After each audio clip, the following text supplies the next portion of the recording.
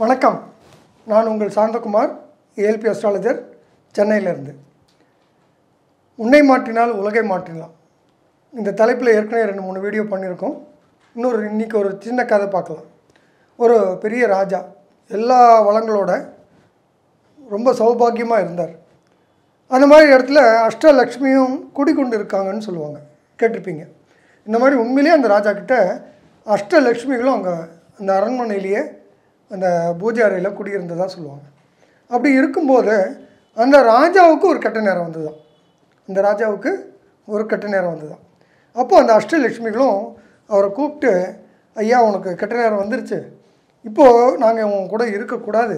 அதனால் நாங்கள் உன்கிட்டருந்து விடைபெறுறோம். நாங்கள் சொல்லாமலே போயிருக்கணும். ஆனால் இத்தனை நாளாக நீ என்னை எங்கள் அத்தனை பேரையுமே நல்லா கவனிச்சுக்கிட்ட. அதனால் உன்கிட்ட சொல்லி விடைபெற்று போகணுன்றதுக்காக வெயிட் பண்ணுறோம் அப்படின்னாங்களாம்.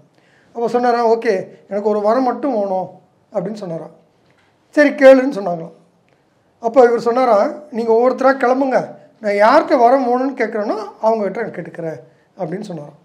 அப்போ என்ன பண்ணுறாங்க ஒவ்வொரு ராணியாக ஒவ்வொரு லக்ஷ்மியாக கிளம்புறாங்க.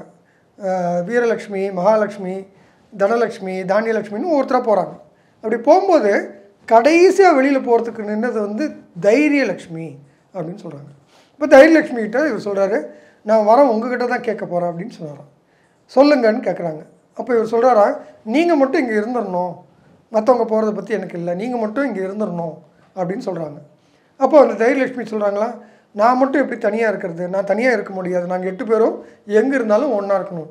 அதெல்லாம் எனக்கு தெரியாது. நான் வரேன் கேட்க சொன்னீங்க நான் கேட்டேன். நீங்கள் இங்கே இருக்கணும்னு நான் சொல்லிட்டேன் அப்படின்னு சொல்கிறாரு வேறு வழி இல்லாமல் அந்த அஷ்டலட்சுமிகளும் திரும்ப வந்து அங்கேயே குடியிருந்தாங்க.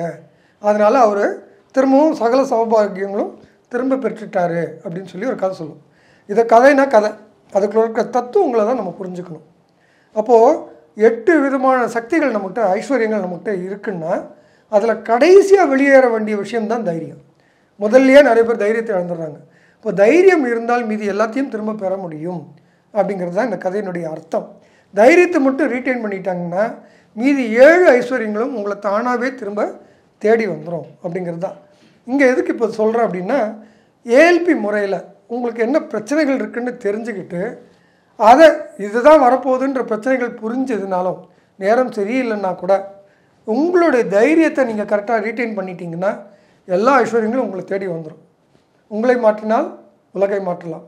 நன்றி வணக்கம்.